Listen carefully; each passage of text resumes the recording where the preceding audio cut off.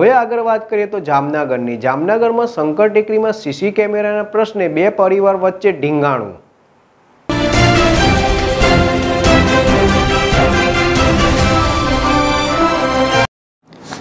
જામનગરમાં શંકર ટેકરી સુભાષપરા વિસ્તારમાં ગઈકાલે બે પાડોશીઓ વચ્ચે સીસીટીવી કેમેરા લગાવવા બાબતે તકરાર થઈ હતી અને એક પરિવારના ત્રણ સભ્યો પર પાડોશી પરિવારના ચાર સભ્યોએ સરી, ધોકા જેવા હથિયારો વડે હુમલો કરી ઈજા પહોંચાડવાની ફરિયાદ પોલીસમાં નોંધાઈ છે.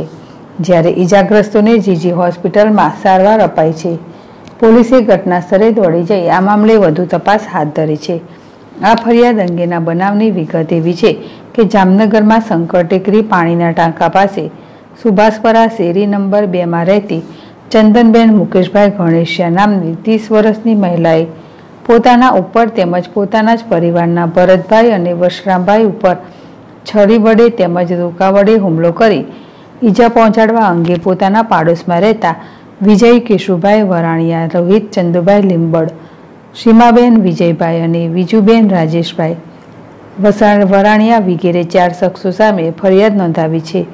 આ ઉપરાંત ત્રણેય ઈજાગ્રસ્તોને સારવાર માટે જામનગરની જીજી હોસ્પિટલમાં ખસેડવામાં આવ્યા હતા. પોલીસ ફરિયાદમાં જાહેર કરાયા અનુસાર ફરિયાદી પોતાના ઘર પાસે સીસીટીવી કેમેરાઓ લગાવતા હતા, જે આરોપીઓને પસંદ ન હોવાથી તકરાર કરી આ હુમલો કર્યાનો પોલીસ સમક્ષ જાહેર કરાયું છે, જે હુમલાના બનાવ અંગે સીટીસી ડિવિઝન પોલીસ આઈપીસી કલમ ત્રણસો ચોવીસ, ત્રણસો ત્રેવીસ, પાંચસો ચાર, પાંચસો છ, બે એકસો ચૌદ અને જીપી એક્ટ કલમ એકસો પાંત્રીસ મુજબ ગુનો નોંધી વધુ તપાસ હાથ ધરી છે. હર્ષલ ખંદેડિયા, જેડેશ ટીવી, જામનગર.